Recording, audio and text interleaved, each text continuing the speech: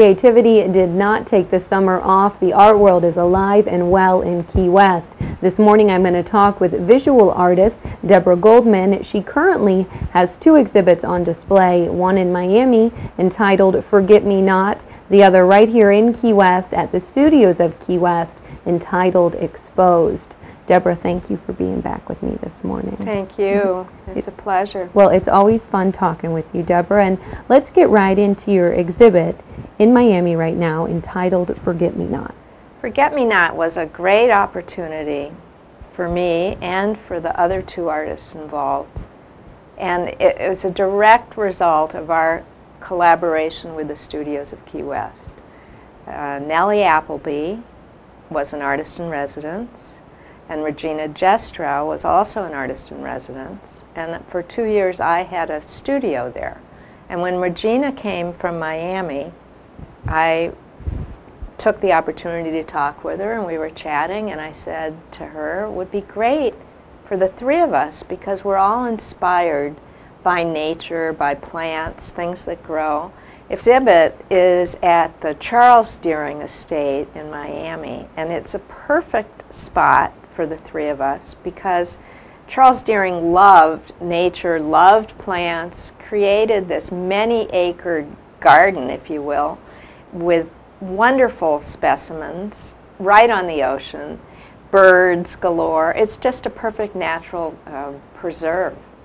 And since the three of us are inspired by nature, it just makes perfect sense. So our work is in the cottage. It's been up for several weeks and unfortunately is coming down October 4, but you still have a chance. You can right. get to go see it. So, Absolutely. so that's what's happening there. And all of our work, um, Nellie did pictures of, of uh, palm fronds, swimming plants, and I have a piece called The Eye of the Potato Garden and another piece called Zucchini Counting, mm -hmm. and then the, there's a room that's called Daffodils for Deering. So, Sounds beautiful. And, and Regina has very large works on paper that are hand stitched with beads that are illustrations of plant forms. Okay, and now that's taking place in Miami. Again, our viewers have until October 4th to check it out. Deborah, also though, taking place right now at the studios of Key West right. is your other exhibit entitled Exposed. It's actually, it's exposed and it's intended to expose to the community the artists who have studios there and they were asked to invite artists who they know who they thought would be complementary to the exhibit. And I was very thrilled that Maggie Rulli invited me to be included. Um, so her work's there and my work is there. My relationship with Maggie was enriched by the fact that as a Studios of Key West artist, she was invited to uh, teach at Bahama Village this mm -hmm. winter, and I volunteered to help her to do that.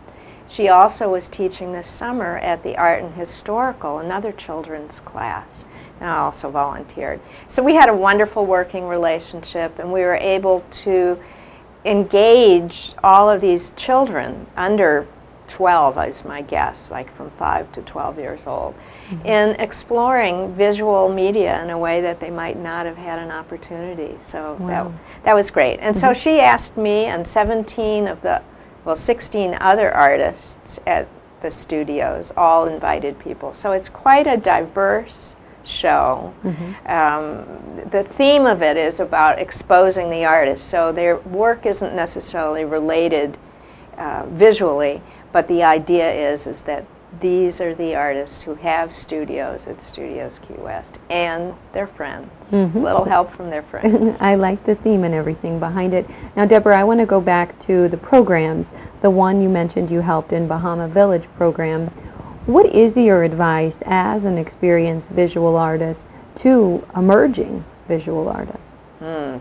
Well, the most important thing, I think, you need to have some kind of a ritual that you, a personally developed ritual, that will allow you to get to work because that's what you have to do. You have to work, you have to be in your studio, and even if you're there sort of wondering, what am I going to do next?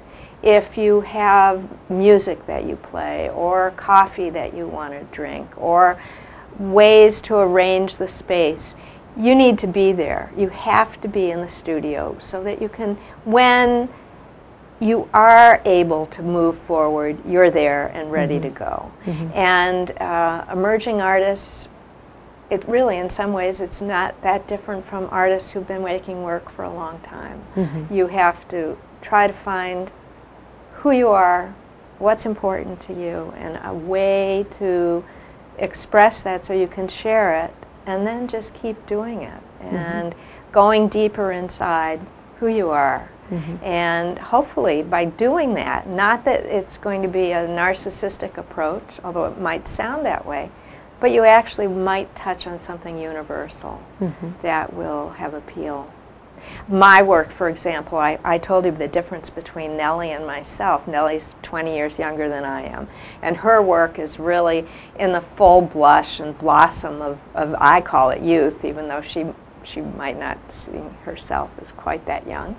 Uh, and my work is really about recognizing um, that time is passing and it's ephemeral. And um, it, it is also about seizing the day. so. hmm I, I love how you you have that focus behind all of your work. And would you say that your work has really changed over the past couple of years, Deborah? I, I've always been interested in nature, but now, and probably since since Wilma, and I recognize that nature is not always uh, beneficent.